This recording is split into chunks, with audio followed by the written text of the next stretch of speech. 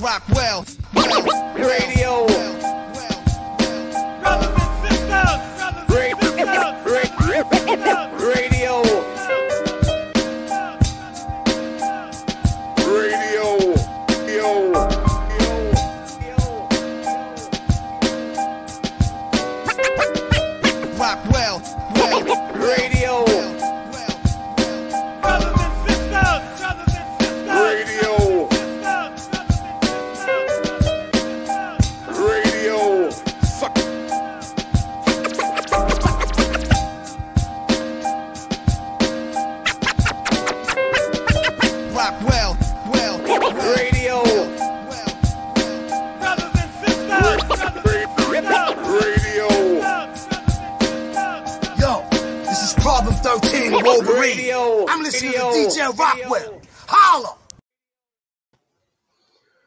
This is DJ Rockwell, and this is number one DJ, and you are tuned in right now to the very first podcast.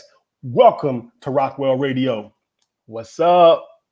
What's up? What's up? Assalamu alaikum. What we got to do is share, share, share, share, share. Hit the like button, follow. Today is all going down. We have work to put together a show for you today. Man, um, I see my brother Ahmed in the building was good. Uh, Williams in the building in the chat room was good. Uh, I see we got audio that's what's up.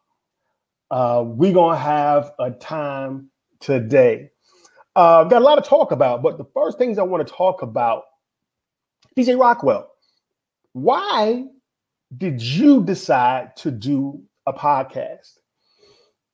It's a billion dudes online right now with a podcast. Why we need another podcast, yo? Why do we need another brother to be telling us what's on they mind? Fox got talking heads, CNN got talking heads. All up and down my timeline is people talking about their opinion. But this isn't just a regular opinion, in my opinion. I think that when we raise a question that we're going to raise tonight, it's worthy that we get as many people talking about the Honorable Minister Louis Farrakhan as possible. Now, we all know who the Honorable Louis Farrakhan is. We all know what hip hop is, or do we? We're going to get into a little bit of both tonight. We've got some guests in the building tonight that's going to dig into it and answer the key question helping Farrakhan. What is the role of hip hop and our mission? Um, I, before I get into that, uh, I had a chance to hang out with DMC of Run DMC fame yesterday, and my man DJ Charlie Chan uh, out of St. Louis. Matter of fact, shout out to DJ Charlie Chan, one of my DJ inspirations. Shout out to G Wiz, one of my DJ inspirations. Shout out to my my partner Pepe, one of my DJ inspirations. So I got to stand and watch DMC minus Run go through all of the hits that raised us, and I stood there and I thought to myself, as I watched this audience of every hue and every background sing every word from my Adidas to Peter Piper to King of Rock and all the hits that we all know. And it made me ask, what is this power of this culture that we call hip hop? Do we truly understand it? Are we using it for its best and most useful purpose? I think when we consider what the mission of the Honorable Louis Farrakhan is, what the mission of the Honorable Elijah Muhammad is, I think the answer is yet to be seen. Let me read to you a thought before we bring on board our guest. And I'll start every show with this thought or with a thought. If hip hop is a product and expression of counterculture and rebellion of the status quo, it was and is inevitable that it would be attracted to a teaching and teacher whose aim is to expose Satan and ultimately bring down his world. So it's inevitable, family, that hip hop and Islam would meet. So this is my first time doing this, so I want y'all to bear with me. Every technology that you see, every graphic that you see, I I'm figuring that out. I'm figuring it out as I go. But um, bear with me, bear with us as we try to do something for the people. So, as I said, we want everyone to share the show, like the show, and this is also streaming as we speak on my YouTube channel. We are driving for 500 subscriptions. So, if you're watching, share it via YouTube and hit like, hit the notification button. So, when we do the Rockwell Radio Show, you'll know that we're on live. So, let's get to it. Let's get to it. Again, the show topic tonight we're trying to help the Honorable Louis Farrakhan. He's got a great mission to raise the dead. If hip hop is a language spoken all over the world, what is the role of hip hop to help the Honorable Minister Louis Farrakhan in that mission? Today, we have in the house to join us, we've got Jihad Hassan Muhammad, who's going to join us later. Jihad Muhammad founded or co founded the Dynasty Hip Hop Inc. out of St. Louis, more on him later. Later, you'll hear from Enoch Muhammad, founder of the Hip Hop Detox. Later, you'll hear from Hashim Hakim, one of the dopest hip hop recording artists in the nation. But right now, let me introduce to you and read a little bit about the guest I want to introduce to you right now.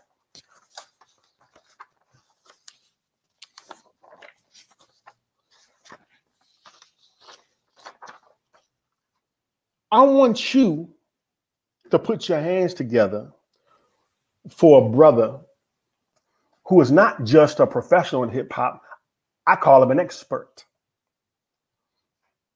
This brother, and I don't have my, I think I missed my paperwork, but I want to just tell you what I know. This brother out of DC, representative of the Zulu Nation, moved on, became a member of the Nation of Islam.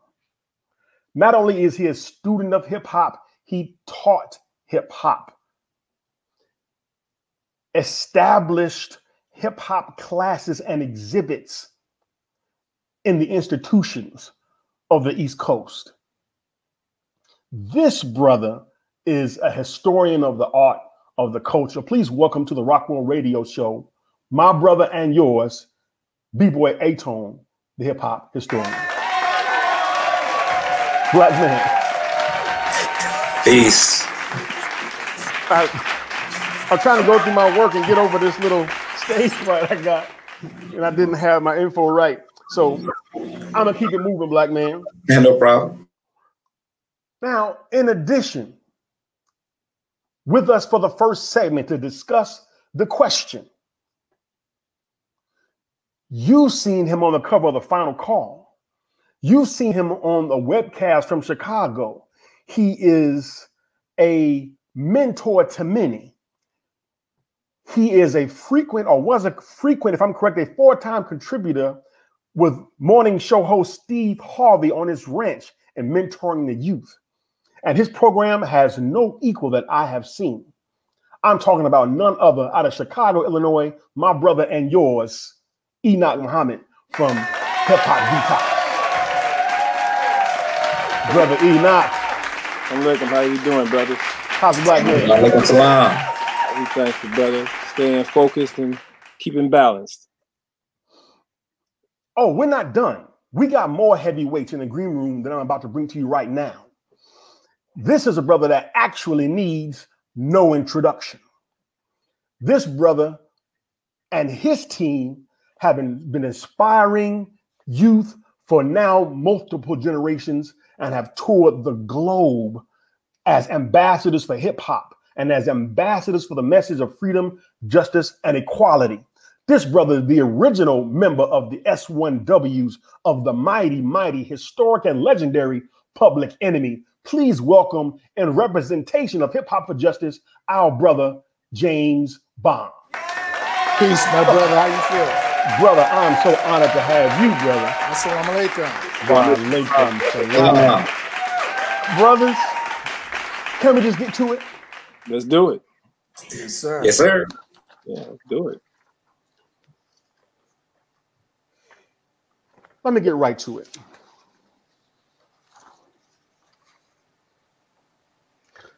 The first question has three parts, and it'll speak to the show title, which is a question in itself. What is the role of hip hop in the mission if we're helping the Honorable Louis Farrakhan? What is hip hop to you? And what is the mission? And is hip hop a viable tool that can help with the mission? If I need to repeat any part of that, let me know. But I'm going to start with my brother, the B-boy A-Tone, the hip hop historian. Yes, could you repeat the first question? And you're the per the actually the best person to start this question with is what is hip hop to you? And is it a viable tool to help the Honorable Louis Farrakhan? We're going to get the obvious out the way first.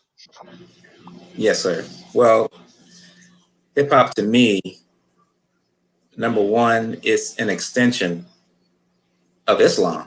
Actually, I mean, I mean, I have to kind of cut right to the core of it because without the, the Islam and the Nation of Islam in particular, there wouldn't be any hip hop. And I think that's something that we have to understand and have to stand on if we want to really help the Honorable Minister Louis Farrakhan in our role in helping him do what he needs to do. So hip hop is a culture. It, I'll give the definition that I, I was given from Afrika Bambaataa, uh, started Zulu Nation, and, and it's kind of integral with the development of hip hop. He said, hip hop is peace, unity, love, and having fun.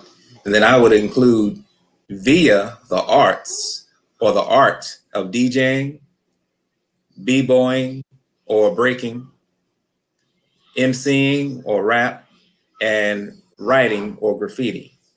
That sir. four core elements are the tools that are used to propagate the culture. Notice the first term that was used in the definition was peace, and Islam is peace. So to me, Islam and peace are one and the same. So just like we we correct those who misrepresent Islam, who try to represent Islam as anything other than peace, then I feel it's our duty to correct those who misrepresent hip hop as being anything other than peace, unity, love, and having fun. Yes, sir. That's what it would be. That that how that's how I would answer that first question. Let's take it to Chicago and uh, get this question answered by our brother Enoch Muhammad of Hip Hop Detox. Yes, sir. Well, you know, because of the work that we do and how hip hop detox started, and even how I started, you know, when it comes to hip hop, we look at it from a social, scientific, and even a spiritually scientific way, going back to Amiri Baraka when he was known as LeRoi Jones. He wrote a book called Blues People. And in that book, he basically dissected and analyzed all the different forms of music that came out of us as a people during the worst, you know, time that we had in chattel slavery. He just tracked all the music that came. So because we couldn't speak our own language, we couldn't use the drum. We had to sing what is known today as gospel music or Negro spirituals, and we put all type of messages in Negro spirituals. And then he went through all the different forms of music. Whether you're talking about ragtime, you're talking about jazz, bebop, and then he said at the end of that book, he wrote that there would be a genre of music that would come out that would be a mere reflection of the condition of the black man and woman in America. So when I read that book, I said, this man was talking about hip hop because it's a mirror reflection. So when we define hip hop, we define hip hop as being truth without boundaries. Hmm. Because we define it as being truth without uh, without boundaries, it embraces, of course, of course, the cultural definition, which my brother uh, brother A-Tone was describing. Because I remember when I met uh, Afrika Bambaataa here in Chicago, and we talked, and I told him about hip hop detox, and you know, the whole idea of what we're doing is saying, look, we have to consider our whole condition and recognize that yes, it's prophetic, yes, it's spiritual, yes, it's psychological, it's economics, it's all of that and then some. And so I'm in complete agreement and harmony with what my brother just said so far, in that it represents peace, and it also represents if you disturb our peace, we got the right, according to our teachers, to take a piece. Say that part. Say it loud for the ones in the back. We're gonna uh first of all, thank you, brother, yeah. for joining us. I see my brother in the green room. I don't mean to keep you waiting. Please welcome to the Rockwell Radio Show, the co-founder of Hip Hop for Justice, a brother of whom I'm so so proud of. He and the work brother James Bomb have been doing since 2015. Please welcome to the Rockwell Radio Show, my brother and yours, Miles Muhammad. Brother Miles. Brother Miles, I got your video, but I don't have your audio. Let me. uh, Are you with us, Brother Miles?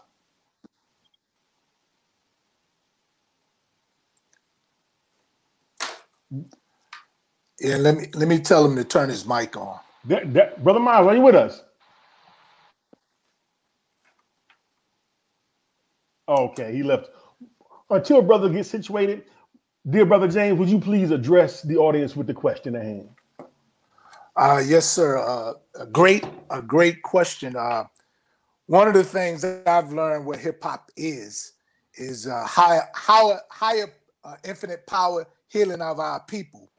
It's one of the most powerful genres in the world, and that's one reason why the enemy is so after hip hop because we appeal to the entire youth culture in the world, and it's another reason why they they after it as well is they want to forever keep hip hop 35 they want to make youth up to 35 and, and, and hip hop is 47 years old How about it? uh, right now but one of the, the one of the main things I, I i would say you know as public enemies traveled the globe and we've been to 116 countries worldwide and some of those countries we've been in over and over and over again that higher infinite power healing our people this is what's needed and to add with what i'm saying with that is how this would help honorable minister louis farrakhan and just to just to share this with you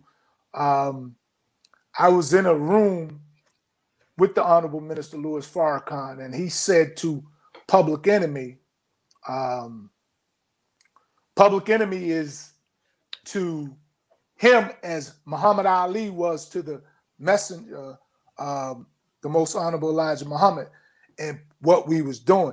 It's one of the most powerful genres uh, to push our um, agendas and what whatnot. See, the enemy when we first came out didn't understand how to market it. We pretty much market ourselves, and it marketed itself. They didn't understand it, but then in 1991 there was a meeting in Los Angeles where some very prominent people outside of hip hop, along with some prominent individuals in hip hop, that um, they wanted to change the dynamics of hip hop from where it was positive and from poor righteous teachers to public enemy to uh, brand nubian and and uh, quite a few other ones uh, x clan they wanted to change that dynamics to what what Ch- my brother Chuck's called uh, BET Booty and Thug Network, Right, right. uh, and that's they changed that dy- dynamics, and that from that point on, gin and juice was better than getting people what they need from Public Enemy, or or or for that matter, the Booty and Thought Network was promoting more of the the um the gangster rap more so than the positive and the historical uh platform if you can remember and uh brother uh b-boy A-Tone can can attest to this said when hip hop first started it it was all geared towards positivity and uplift. Music is a universal language, so it being positive and being able to uplift. If you get a chance to travel as I travel, you will see how hip hop has affected entire youth culture around the world from Japan. Uh, I was in last year around this time, I was in um Jakarta, Indonesia, where it's, they got the largest Muslim population in the world. And the response to hip hop is so incredible. It's just unbelievable. Where in, in a hip uh, Islamic culture, how hip hop has affected people in that pop in that, but they got 40 million Muslims there. Wow. And they, wow. to see these young people jumping and moving at hip hop. So it's it's the most effective form of uh, music or genre of music because you can use anything in hip hop and you whether it's uh, whether it's rock or rap or whatever form in which you want to say your lyrics, it it matches hip hop in that way. So there's no question. It's, it's inevitable and undeniable that there's a connection between this worldwide impactful culture known as hip hop and the teachings of the most honorable Elijah Muhammad and his student, the Honorable Louis Farrakhan. It's undeniable. Having said that, I'm going to move right to my brother again, who I see is in the green room, and I believe he's ready. We're going to bring him back in, Brother Miles Muhammad. Brother Miles, are you with us? Yes, sir. Wow, Yes, sir. alaikum Y'all hear me? salam, dear brother. Yes, sir. I, Loud and clear. apologize. I, I apologize. I, I was hearing you all the first time, and then the audio went out, and so I had to excuse myself to get back on, so I didn't miss the the conversation. Um, and I want to shout out and salute brother Anthony A. Tone, brother Enoch, and Hip Hop Detox. Of course, my big brother and partner James Bomb of the legendary Public Enemy, and us being together on this beautiful platform on your debut breakout show, DJ Rockwell, the nation's number one DJ. You know what I mean? so, brother, I tell Yes, you sir. what, your timing is actually perfect because the next question is directly aimed at you. Okay. Yes, sir. On your YouTube page, the tagline beneath the title reads as follows Where art meets activism. Yes, sir. After people hear your show, Hip Hop for Justice, what do you want them to take away that they can immediately apply? In other words, what activism do you want to encourage in your listeners? Well, I think first, you know, and, and foremost, brother, um, I have to go back to the root.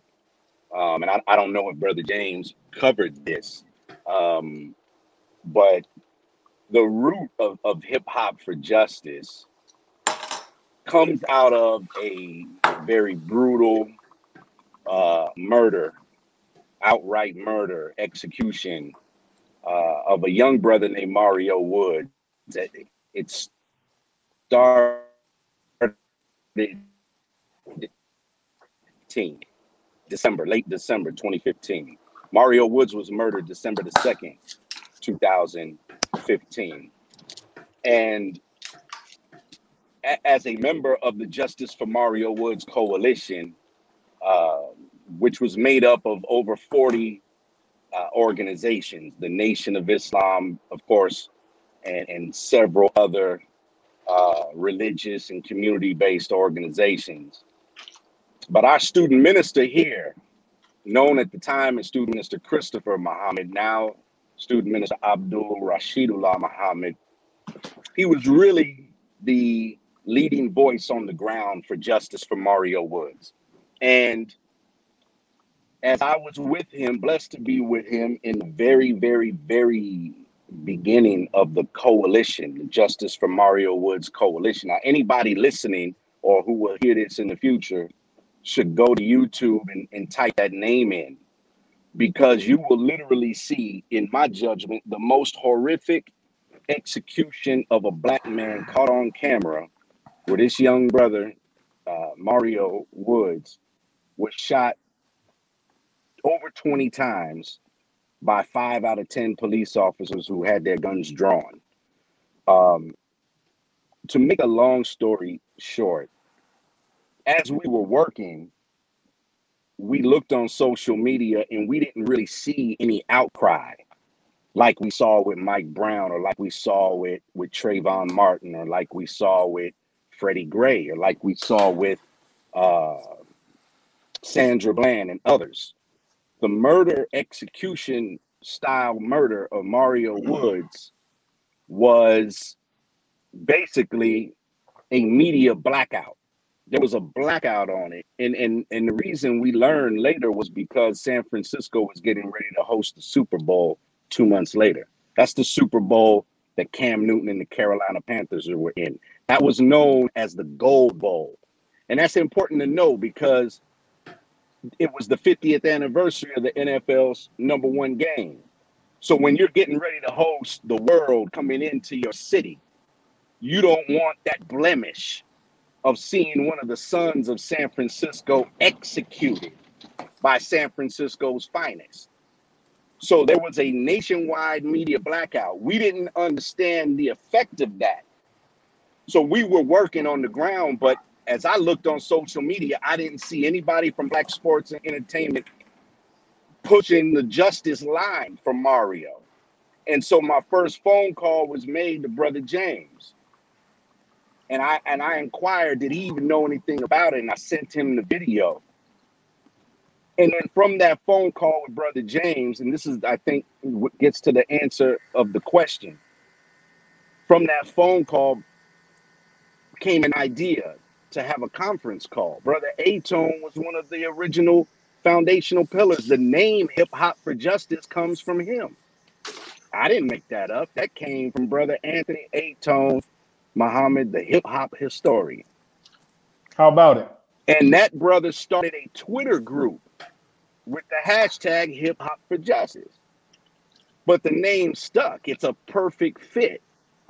So what I'm saying is from that engagement with Brother James regarding a brutal murder execution, a severe injustice to this very day, that wound is gaping and open. There is no there's no justice. You may read, well, Mario's mother settled 400,000 or whatever. That doesn't, brother, look, you can settle. Tamir Rice's mother settled for millions. That don't, that don't, that don't heal that wound. What heals that wound is justice. And, and really, to be honest, it don't heal it because it'll never be healed. She wants her son back. Right. Sandra Bland's mother wants Sandra Black back. Right. You understand? So Mario's mother wants Mario back, and she'll never get him back. So there will always be that empty space.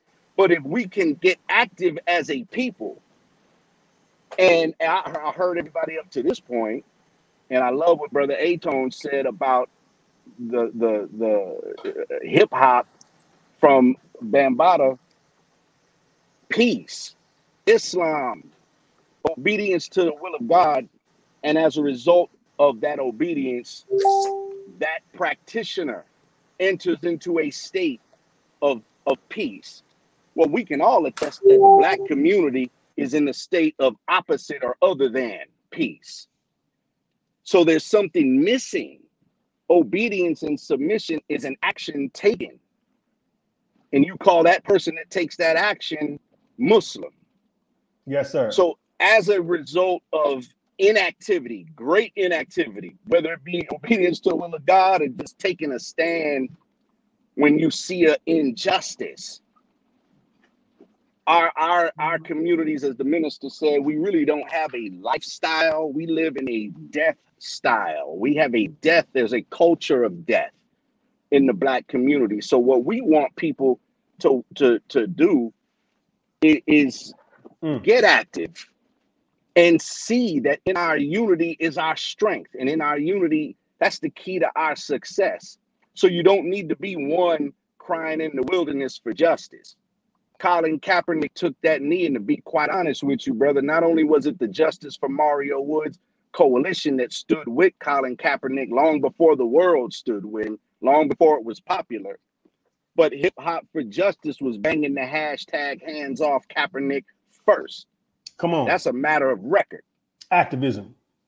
And it was our student minister on behalf of our illustrious leader, the Honorable Minister Louis Farrakhan, who spoke with Colin Kaepernick and made a connection and let him know he's not standing alone. At that, I'm talking about at that time when it was not popular to take that stand. So I think, brother, to be honest with you, man, that, that the, the key thing for us is to is to activate agents of social change in our community. That's what I see on, on, on top of the many other things that our brother Enoch does with hip hop detox. He In fact, activates the youth in yes, he particular. Does. in particular the youth.